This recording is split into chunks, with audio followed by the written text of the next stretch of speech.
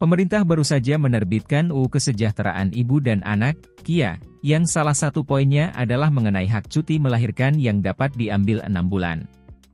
Tujuannya adalah untuk menjamin kehidupan yang sejahtera lahir dan batin bagi setiap warga negara, termasuk menjamin kelangsungan hidup, tumbuh dan berkembang anak, sehingga dapat meningkatkan kualitas hidup dan kesejahteraan seluruh warga negara, terutama kesejahteraan ibu dan anak. Selain itu, implementasi dari UU KIA diharapkan dapat meningkatkan kesejahteraan ibu dan anak, serta mengangkat harkat dan martabat mereka dalam masyarakat. Poin-poin dalam UU KIA adalah sebagai berikut.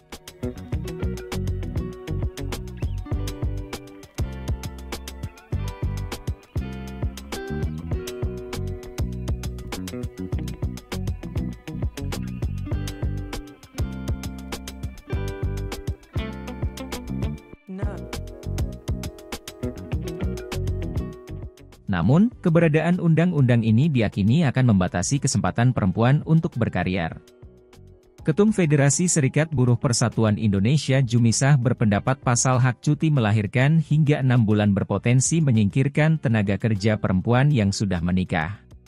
Jumisah memberikan contoh praktik yang ada di lapangan, saat buruh perempuan mengajukan cuti melahirkan malah disodori surat pengunduran diri oleh perusahaan.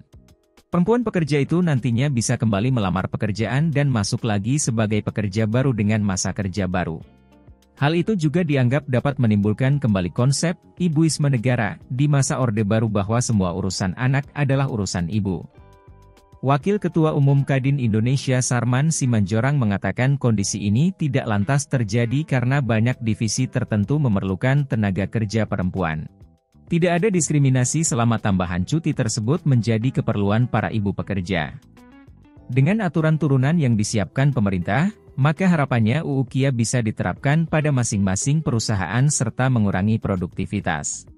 Sarman juga melihat perusahaan nantinya tidak mengalami rugi beban operasional dengan aturan tambahan cuti.